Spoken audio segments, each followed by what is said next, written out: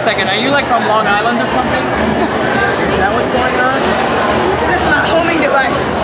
Oh my god, this is really perverted. that's I can how, tell. I, that's I can how I connect with my partner. I can hear my compadre, my partner in crime. He's getting closer.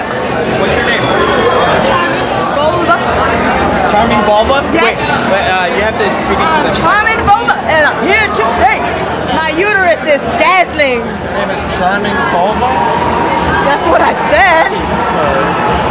Deaf or something? Um, Don't make me repeat myself again. I'll mess you up. what, what do you think about goiter removal? Goiters? You're asking me about goiters? Yeah. Do I look like I might know something about goiters? Well, maybe, I don't know. Do I look like goiter expert or something? You look like you know a thing or two about a goiter. Okay, I don't know from goiters, but I think you do. You've been reading my I love Jews pin. I don't know from goiters. I don't know from goiters. I don't know from my sweetie.